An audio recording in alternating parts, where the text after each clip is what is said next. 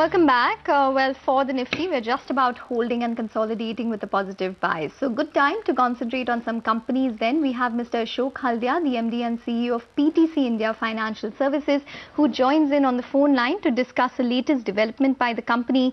Mr. Haldia, thank you very much uh, for joining in. Can you just take us through this MOU that you've signed with India Infra Finance Company? What does it mean in terms of uh, the projects you're going to finance and when does it take off?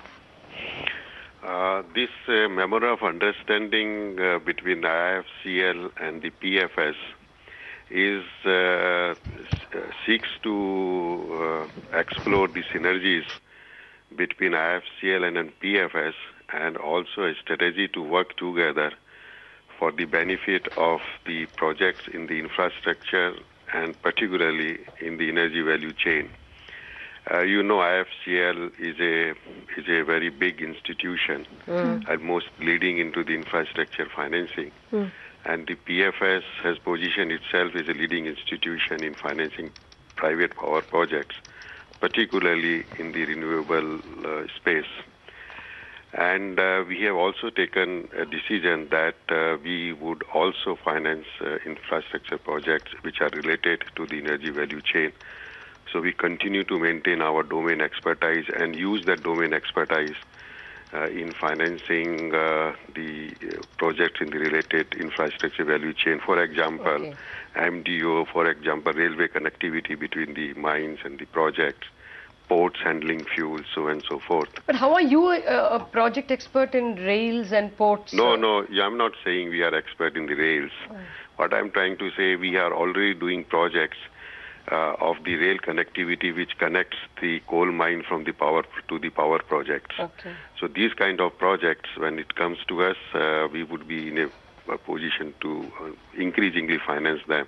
Mm. And secondly is that the IIFCL has a credit enhancement scheme. Mm. Uh, we have also, uh, our board has also introduced a credit enhancement scheme. We will join IIFCL mm. in extending credit enhancements either together with them or as a backstop arrangements. Mm. Have uh, you already identified anybody, Mr. Haldia? Uh, we are in the process of uh, doing some projects. At the moment, only one has been signed, right? Uh, uh, the one in solar project, I think, with Renew that IIFC. Uh, right, right, but but uh, they are under consideration of a couple of more than couple of mm. other projects. You know, your uh, big worry uh, after your second quarter numbers were that the gross NPLs went up rather sharply uh, by about 200 crores. how is the situation now? Should we brace ourselves in the third quarter also for a fresh increase in slippages? No, on that occasion I had explained the reasons that there are no new uh, uh, stress accounts. Mm.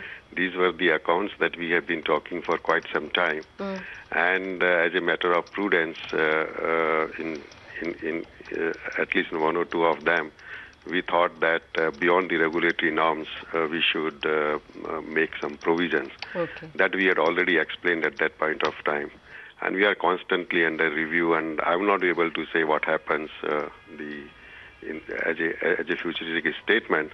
But I believe we are. No, I, I mean, perfectly I mean, we understand. Are, we, I mean, no, we are under the control of the situation. I would only say that. Yes, yes, we understand that your provisioning went up because of prudential yes. reasons. No, no, but that that's Mark what I explained. NPLs also went up, isn't it?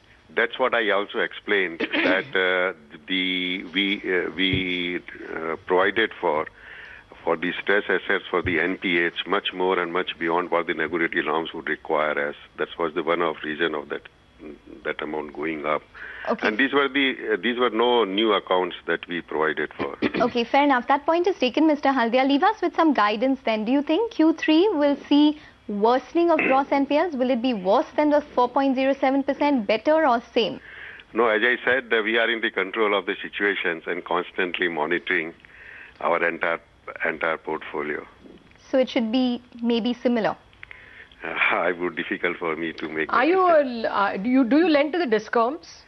Uh, no, we uh, we uh, uh, we we have to one particular very small amount. Okay. But we are trying to position ourselves, seeing the opportunity into the transmission and distribution sector in the mm. private mm. arena we are trying to positioning ourselves to finance transmission and distribution projects. What percentage of your money goes to uh, renewable energy?